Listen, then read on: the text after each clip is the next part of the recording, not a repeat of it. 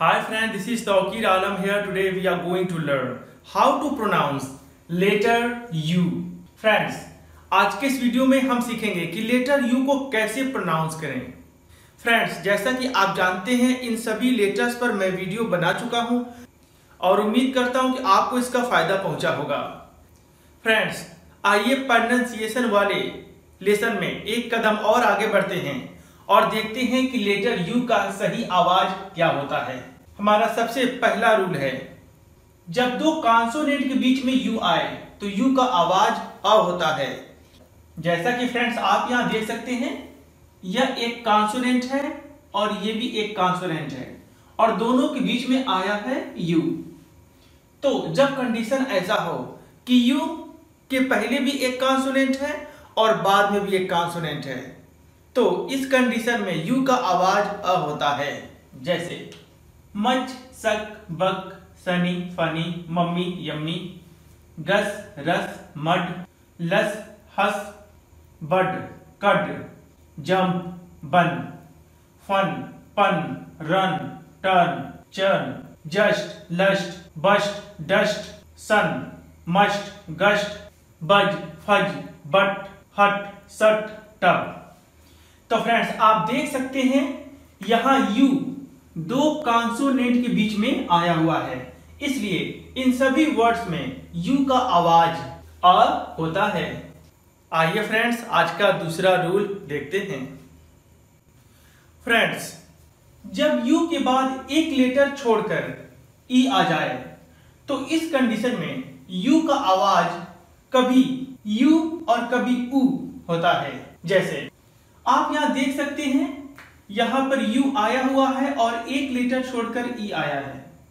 यहाँ यू का आवाज़ यू होगा, जैसे cue tue dual tule nuke puke cute mute कई बार जब यू के बाद एक लेटर छोड़कर ई आता है तो यू का आवाज़ ऊ होता है, जैसे dude rude elude plume interlude reuse हो सकता है फ्रेंड्स आपके दिल में यह क्वेश्चन है कि कैसे पता चलेगा कि कब हमको यू का आवाज़ यू और कब ऊ करना है।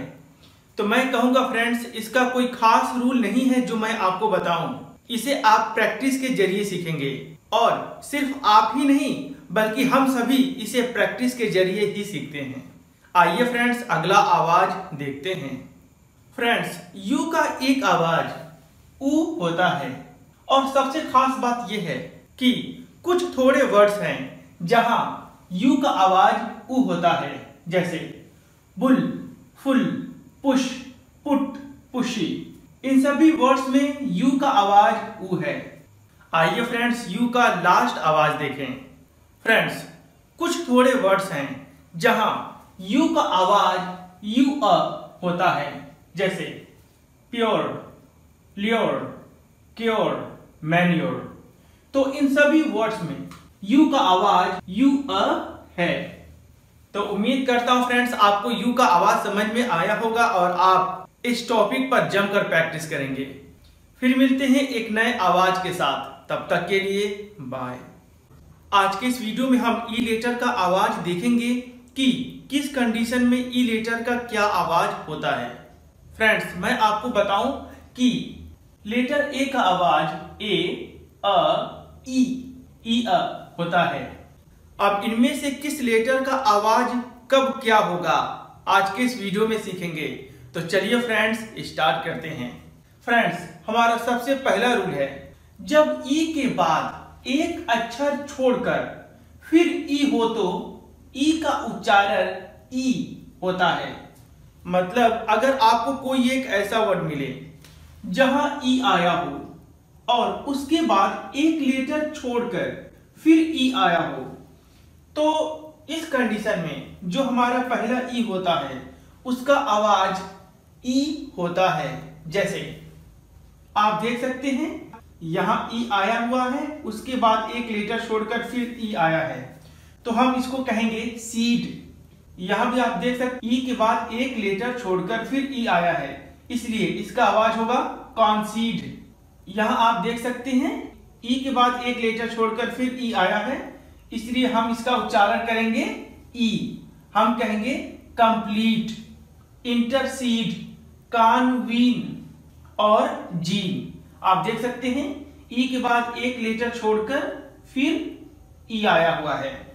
तो फ्रेंड्स जब कहीं ई लिखा हो और ई के बाद एक लेटर छोड़कर फिर ई आया हो तो इस कंडीशन में ई का आवाज़ ई होता है। उम्मीद है आप इस बात को समझे होंगे। आइए अगला रूल देखते हैं। फ्रेंड्स अभी तक हमने सीखा कि जब ई के बाद एक अक्षर छोड़कर फिर ई हो तो ई का उच्चारण ई होता है। लेकिन फ्रेंड्स जो लेटर आप छोड़ रहे हैं, अगर वो लेटर आर हो तो ई का आवाज़ ई अ होता है। मतलब इस बात को आप ऐसे भी समझ सकते हैं, अगर किसी वर्ड में ई आर ई आया हो तो पहला ई का आवाज़ ई अ होता है।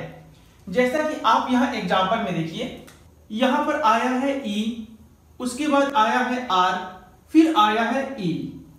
तो फ्रेंड्स अगर आपको कोई एक ऐसा वर्ड मिले जहाँ ई आर ई आया हो तो जो पहला ई होता है, उसका आवाज़ ई अ होता है। यानी ये लिखा है मी अर ये जो ई है, ये मात्रा बन गया है और यहाँ पर अ आप देख सकते हैं। तो इसे हम कहेंगे मी अर यहाँ गौर करिए, ई आर ई। तो यहाँ पर ई का आवाज़ होगा ई अ। हम इसे कहेंगे कोहियर। आप यहाँ देख सकते हैं, बाद में आया है ई आर ई। तो इसका साउंड होगा स्फीयर। आप यहाँ देख सकते हैं, आया है ई आर ई तो हम इसका साउंड देंगे अटमोस्फियर यानी छोटी का मात्रा और अ। तो फ्रेंड्स हमारा दूसरा रूल था कि अगर किसी वर्ड में ई आर ई हो तो जो पहला ई होता है, उसका आवाज़ ई अ होता है। हो सकता है फ्रेंड्स आप सोचें कि दूसरा ई का आवाज़ क्या होगा? तो मैं आपसे कहूँगा फ्रेंड्स कि जब किसी लेटर के लास्ट में ई आता है तो ई साइलेंट होता है। यानी वहाँ ई का कोई आवाज़ नहीं होता। आगे इस बात को मैं डिटेल से बताऊँगा। फ़िलहाल यहाँ मैं आपको बता दूँ कि अगर किसी वर्ड के लास्ट में ई है तो ई का कोई साउंड नहीं होता, क्योंकि ई साइलेंट होता है। हम इसे कहते हैं कम। उसी तरीके से बहुत ऐसे वर्ड्स हैं जहाँ लास्ट में ई आता है और ई साइलेंट होता है। आइए फ्रेंड्स तीसरा रूल देखते हैं।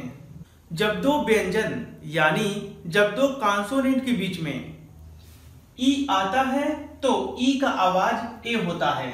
जैसे, आप यहाँ देख सकते हैं, यह एक कॉन्सोनेंट है और ये भी एक कॉन्सोनेंट है। लेकिन दोनों के बीच में आया है ई जैसा कि आप यहाँ भी देख सकते हैं एल एक कॉन्सोनेंट है डी भी एक कॉन्सोनेंट है। बट दोनों के बीच में आया है ई आप यहाँ भी देख सकते हैं बी एक कॉन्सोनेंट है और जी एक कॉन्सोनेंट है। बट दोनों के बीच में आया है ई तो फ्रेंड्स जब कंडीशन ऐसा हो कि दो कॉन्सोनेंट के बीच में ई आए तो ई का आवाज़ ए होता है। जैसे bed red wed led fled mend bag leg peg bell yell sell fell hell sand band land well bat went let set net तो फ्रेंड्स आपने यहाँ देखा कि यह ई का आवाज़ ए है। क्यों? क्योंकि यहाँ पर ई दो कॉन्सोनेंट के बीच में आया है। फ्रेंड्स जब ई आर के पहले एक कॉन्सोनेंट हो और ई आर के बाद एक कॉन्सोनेंट हो तो इस कंडीशन में ई का आवाज़ अ होता है। यानी जब किसी कॉन्सोनेंट के बाद ई आर आया हो और उस ई आर के बाद फिर कॉन्सोनेंट आया हो तो इस कंडीशन में ई का आवाज़ अ होगा। जैसा कि आप देख सकते हैं फ्रेंड्स यहाँ ई आर आया हुआ है और ई आर के पहले और ई आर के बाद एक कॉन्सोनेंट आया हुआ है तो यहाँ ई का आवाज़ अ होगा। इसे हम कहेंगे जक यहाँ मैं आपको एक और खास बात बताऊँ फ्रेंड्स ब्रिटिश इंग्लिश में, जब लेटर आर किसी वर्ड के लास्ट में आता है, या फिर लेटर आर किसी कॉन्सोनेंट के पहले आता है तो इन दोनों कंडीशन में लेटर आर का आवाज़ नहीं होता। जैसे, यहाँ पर आप देख सकते हैं आर एक कॉन्सोनेंट के पहले आया हुआ है तो रिटन में र लिखा जाता है। लेकिन जब हम इसका प्रोनाउंस करते हैं तो आर लेटर का प्रोनाउंस नहीं करते हैं। जैसे, इसको हम कहेंगे जक यानी, आप ऐसे समझ सकते हैं।